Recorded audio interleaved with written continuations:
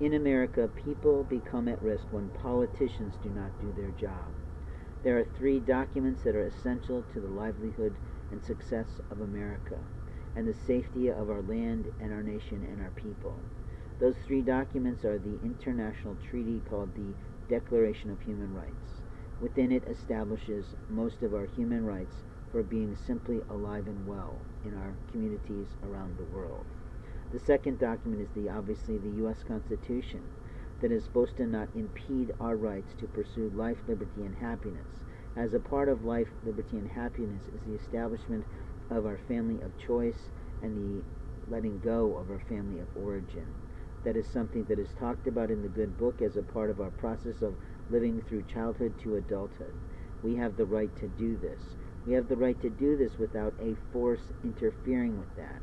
And openly, people don't seem to agree with that.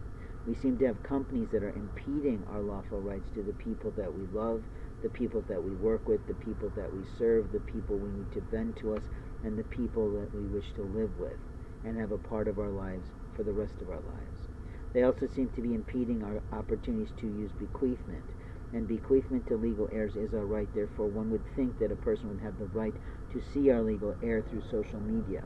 At the same time, if they're going to cover the world and cover the earth with their technology, you would think that their search engines would work better.